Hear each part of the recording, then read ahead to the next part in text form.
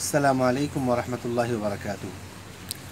آج سیمانچل ہی نہیں بلکہ بہار یا شمال مشرقی ہند یا پورا ہندوستان سوگ میں ہے، غم میں ہے کہ انہوں نے ایک قائد، ایک سربراہ، ایک مربی، ایک لیڈر کھو دیا ہے۔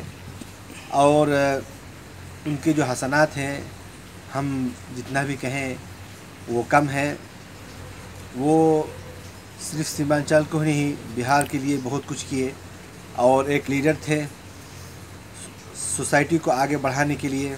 سوسائٹی میں زیادہ سے زیادہ ترقیاتی منصوبے کو لاگو کرنے کے لیے اور بہار کو ایک ترقی یافتہ بہار بنانے کے لیے بہت زیادہ ان کے کردار ہیں۔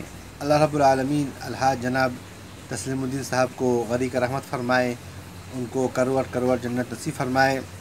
میں توحید ایجوکیشن ٹرسٹ کی جانب سے اور تمام طلباء اور طالبات اور ٹیچرز اور ممبرز کی طرف سے ہم لوگ ان کو تعزیت کہتے ہیں، ان کے اولاد کو ہم تعزیت پیش کرتے ہیں۔ اللہ رب العالمین ان لوگوں کو صبر و تحمل عطا فرمائے۔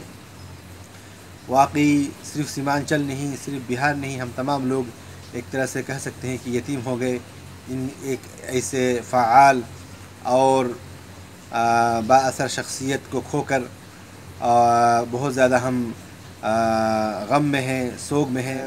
ان کے تعلقات توحید ایجوکیشن ٹرسٹ کے ساتھ یا میرے والد محترم اللہ ان کو غری کا رحمت فرمائے، ان کے ساتھ جو تھے، قلت وقت کی وجہ سے میں کہہ نہیں سکتا۔